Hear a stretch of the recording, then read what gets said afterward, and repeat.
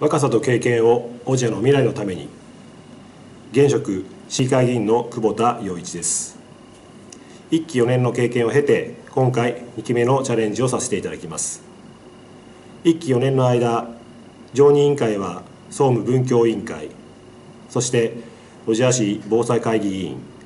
青少年問題協議会委員としてさまざまな議案課題について審議させていただきました。また4年間で12回にわたりさまざまな課題について人口減問題教育市民共同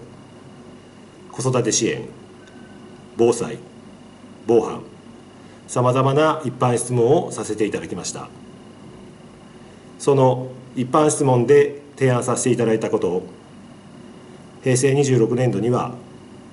LED 防犯灯改修補助事業そして新年度27年度には災害時協力意図制度が導入されております。総務文教委員会また会派での視察勉強会でいろいろと勉強させていただきましたがその他には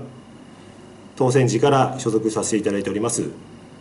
全国若手市議会議員の会昨年9月からは北支援ブロックの代表を務めさせていただいておりますが責任世代である同じ若い議員とともに一生懸命切磋琢磨し合いながら議員力の向上に努めてまいりました。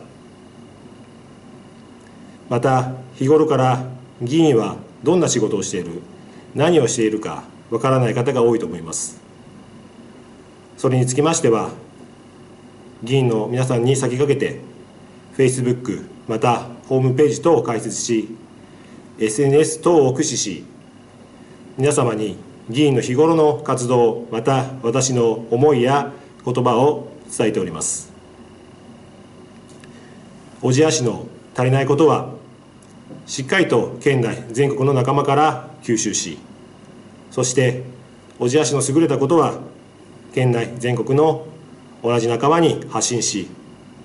小千谷市が小千谷市であり続けるためにそして小千谷市民の皆様が安心して暮らせる街へと一生懸命努めてまいります。これからも議員力の向上そして議会力の向上に努め二元代表制のもと議会がしっかりと行政をチェックする機関でありあり続けるために一生懸命頑張りますのでどうかよろしくお願いします。